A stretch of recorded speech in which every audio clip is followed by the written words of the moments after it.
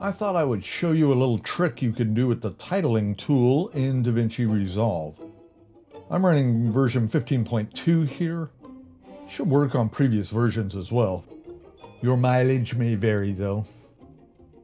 Normally when I uh, use a text tool, which you can find under Effects Library, Toolbox, Titles right there, and we've got the text tools, just static text.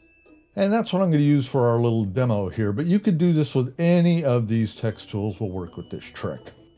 So normally when I bring text into my uh, timeline to put over some video like we have here, I just drag it down here like this.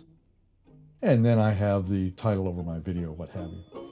But one of the things that happens is it, uh, it makes a default size here.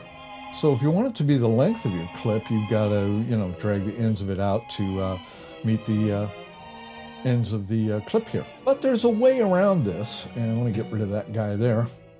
And one of the things you can do, and it's uh, it uses this little menu that you get when you drag and drop a title onto the timeline viewer over here, this guy.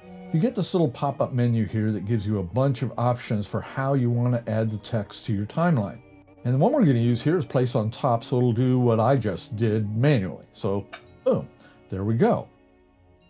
It also placed the text exactly where the playback head was. You can see it offset it over that way. So again, it's still not the length of my clip.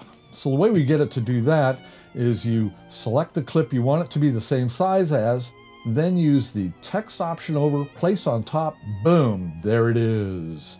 So kind of a cool little trick. Not a lot of folks know this, I know. I hope this helps someone out there, and I'll see you folks in the next video. Until then, take care.